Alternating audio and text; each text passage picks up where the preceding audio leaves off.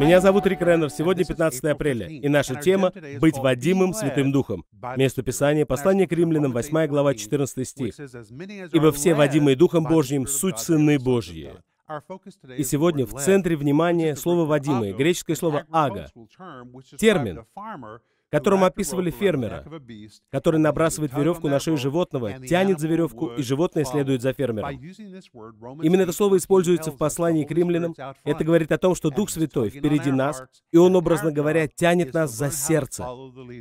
И наша задача — научиться следовать за Ним, не спорить, но следовать в послушании. Он тянет и ведет нас в новом направлении. Я хочу, чтобы вы подумали,